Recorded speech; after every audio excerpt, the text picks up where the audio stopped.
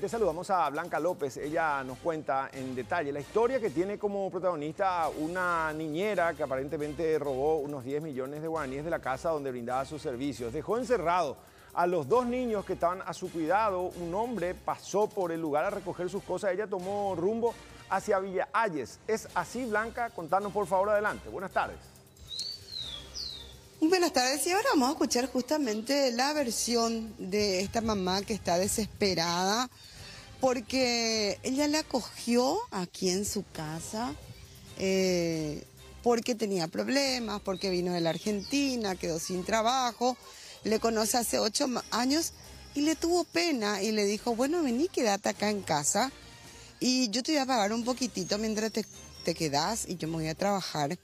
¿Y qué pasó? El papá de sus hijos le trajo 10 millones para terminar la construcción de la casa. De hecho, acá atrás están los materiales de construcción que justamente esta persona eh, tenía que recibir.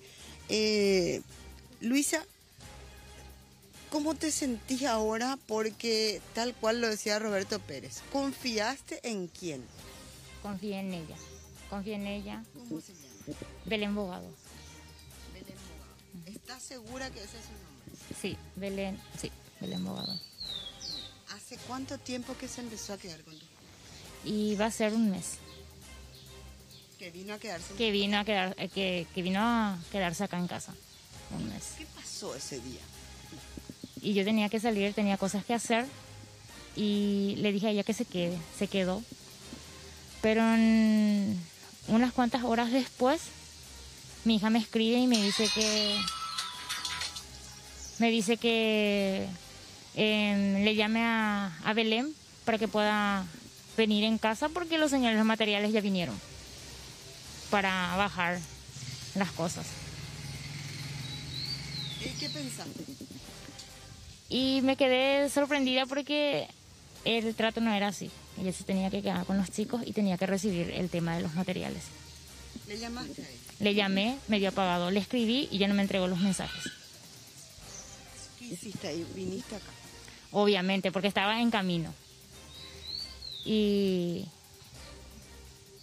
después Cuando llegaste acá, ¿qué te dice tu nena? me dice, mami, todavía nosotros nos comimos, vos no trajiste nada para comer, me dice. Yo le dije, ¿cómo si yo le, le, le dije a, a Belén que, eh, que mire la comida? Le dije, porque yo en, esa vez hice pollo al horno.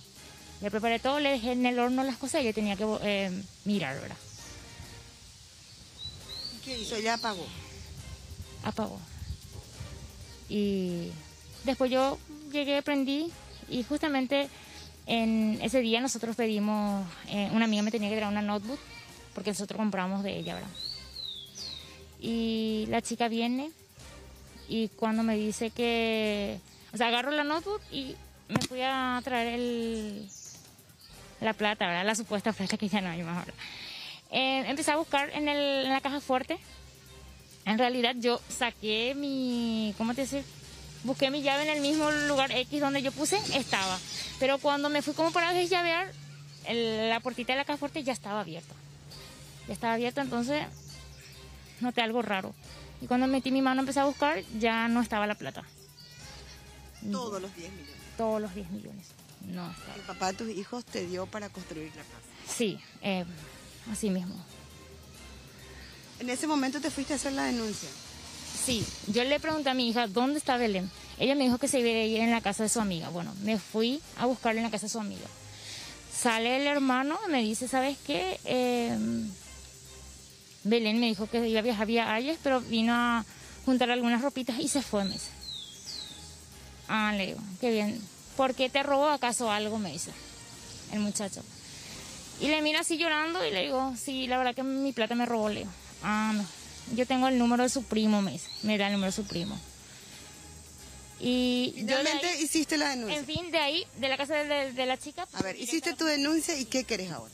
Ahora quiero eh, que se le encuentre realmente para que pueda pagar por lo que me hizo. Porque no puede ser que nosotros tanto esfuerzo que conseguimos esa plata, ya sea préstamo o otra cosa, ¿verdad?